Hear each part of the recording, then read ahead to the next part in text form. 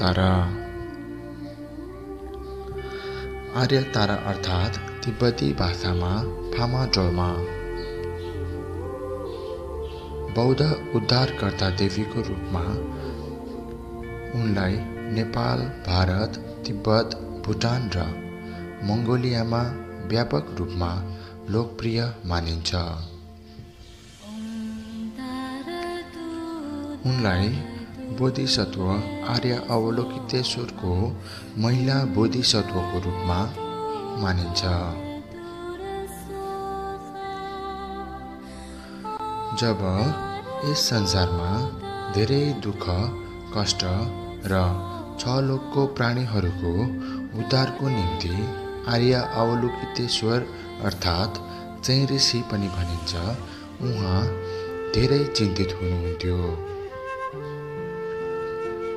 त्यस समयमा अवलोकितेश्वरको दाहिने आँखाबाट र बायाँ आँखाबाट आँसु खसे त्यस आँसुबाट एउटा ठुलो तालको निर्माण भयो र त्यस तालबाट अवलोकितेश्वरको दायाँ र बायाँ एक एक बन्द कमलको फुल उत्पन्न भयो र जब त्यस बन्द कमलको फुल फक्रिए त्यसबाट दायाँपट्टि सेतो तारा अर्थात् ढोलकार र बायाँपट्टिबाट हरियो तारा अर्थात् ढोल्ज्याङको उत्पन्न हुनुभयो।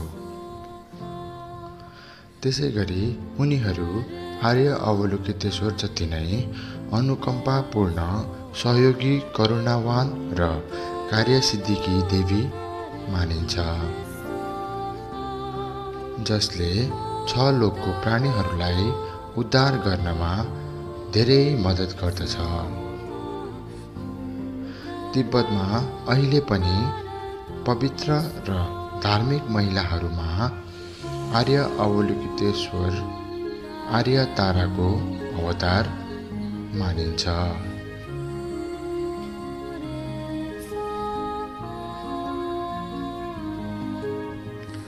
तिब्बतका तेत्तिसौँ राजा सोङचेन गम्पोलाई अवलोकितेश्वर चेरिसीको रूप मानिन्छ। राजा सङ्चेन गम्पोको दुई पत्नीहरू थिए। जुन एकमा चिनिया राजकुमारी वेनच्याङ र अर्को नेपाली राजकुमारी जुन लिच्छिवी राजा अंशु वर्माको छोरी भ्रिकुटी थिइन्। ती दुई रानीहरूले तिब्बतमा सङ्चेन गम्पोसँग विवाह गर्दा दुई रानीहरूले दाइजोको रूपमा भगवान बुद्धको प्रतिमा तिब्बत लगेको थियो।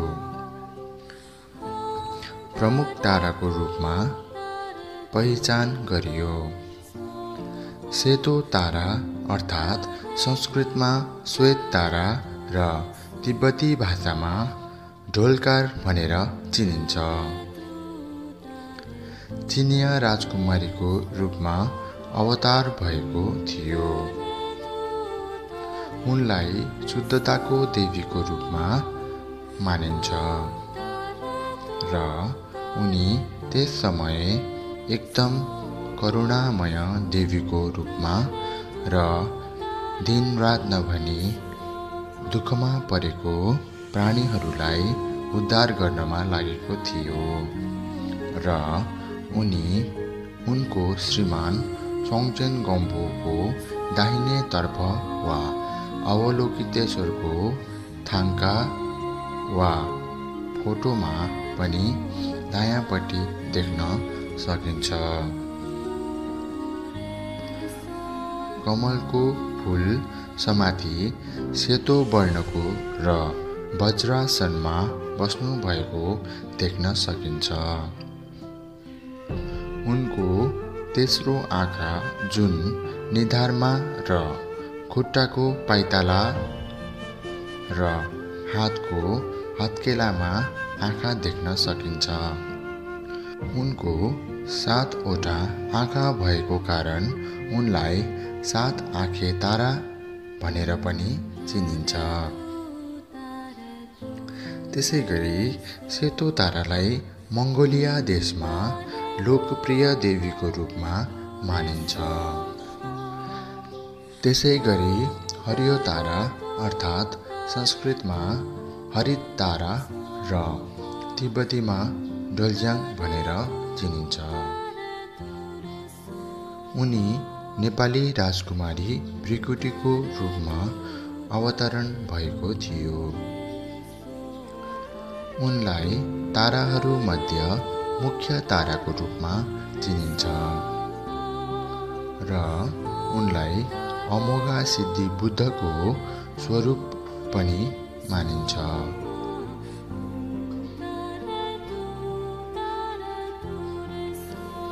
उनलाई अमोघा सिद्धि बुद्धको स्वयं महिला बोधिसत्वको रूपमा चिनिन्छ। उनले सङ्चेन गम्पोसँग विवाह गर्दा नेपालबाट अक्षोभ्य बुद्धको मूर्ति दाइजोको रूपमा तिब्बतमा लगिएको थियो। त्यस बुद्धलाई हाल तिब्बतको रामोचे नामक मन्दिरमा मूल देवताको रूपमा राखिएको छ। र अहिले पनि हामीले रामोचे गुम्बामा त्यस मूर्तिलाई देख्न सकिन्छौँ। र चाइनाबाट लिएर आएको शाक्यमुनि गौतम बुद्धको मूर्तिलाई तिब्बतको जोखाङ गुम्बामा राखिएको छ जुन अहिले पनि हामी देख्न सक्दछौँ। त्यसैले उनलाई तारामध्ये प्रथम ताराको रूपमा मानिन्छ। उनी अत्यन्तै शक्तिशाली थिइन् र उनी करुणाको सागर पनि थिइन्।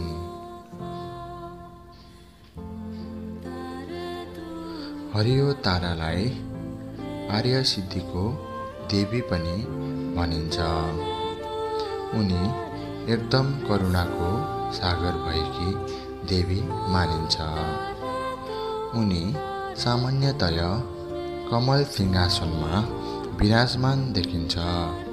दाहिने खुट्टा तल झुन्डिएको मुद्रामा उनलाई देख्न सकिन्छ। र उहाँ बोधिसत्वका गहनाहरू र हातमा निलो कमलको फुल बोक्नु भएको देवीको रूपमा प्रतिनिधित्व गर्दछ। उनीहरू दिन र रात नभनी मेहनत गर्ने देवी देवताको अनन्त अनुकम्पाको बीजको प्रतीक मानिन्छ। त्यसै गरी पछि परम्परागत रूपमा तारालाई एक सय आठ तारामा विभाजन गरियो।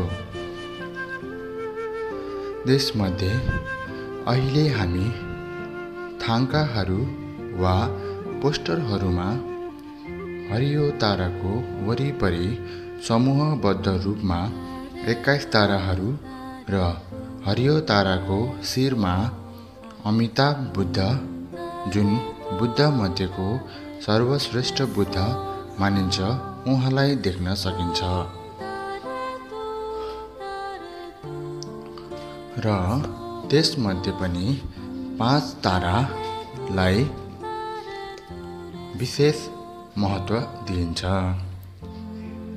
त्यसै गरी पञ्चतारा वा पञ्चकन्या भनेर वज्रयाना बुद्ध धर्म अर्थात् नेवार परम्परामा प्रचलित छ। त्यस्तै सेतो तारा हरियो तारा रातो तारा पहेँलो तारा र निलो तारा सेतो तारा अर्थात् रानी वेन्ज्यान। उनी शुद्धताको प्रतीक मानिन्छ।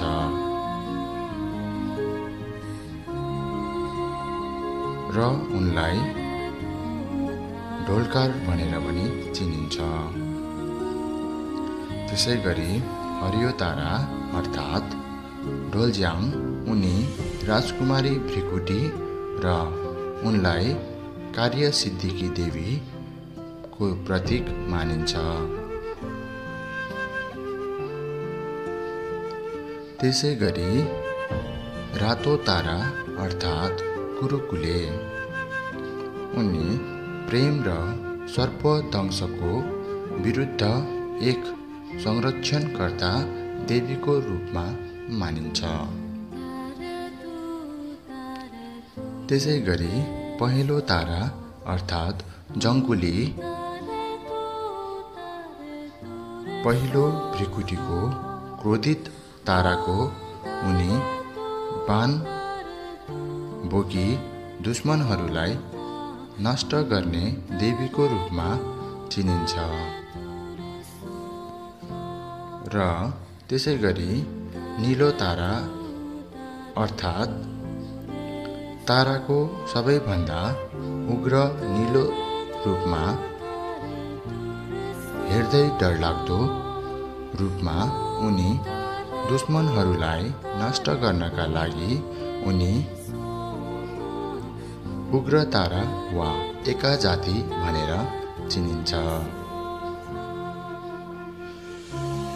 यसै गरी यी पाँच ताराहरूलाई स्मरण गर्न सकिन्छ।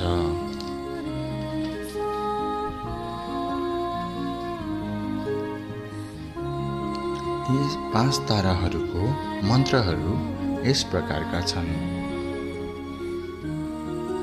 हरियो तारा।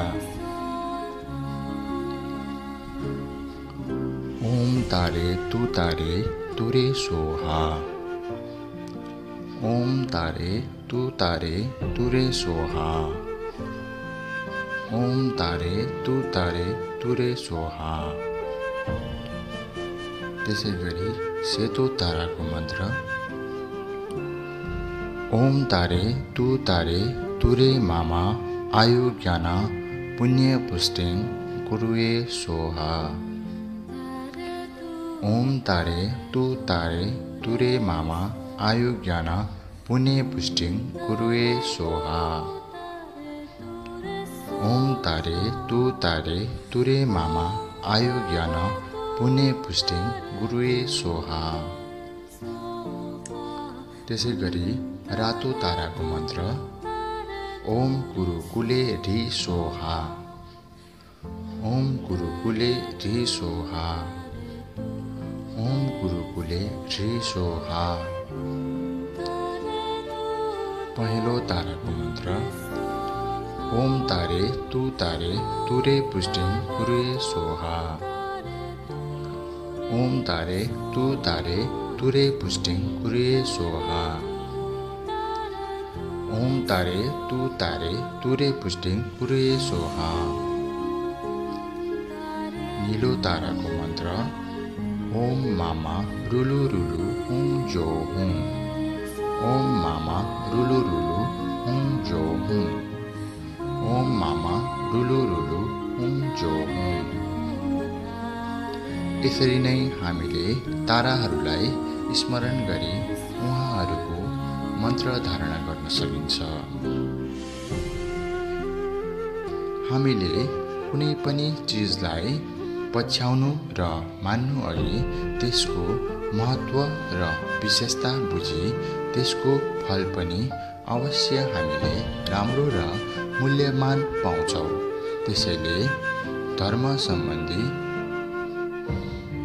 कुनै पनि कुराहरू बुझ्नको लागि सर्वप्रथम त्यसको महत्त्व जान्न जरुरी छ।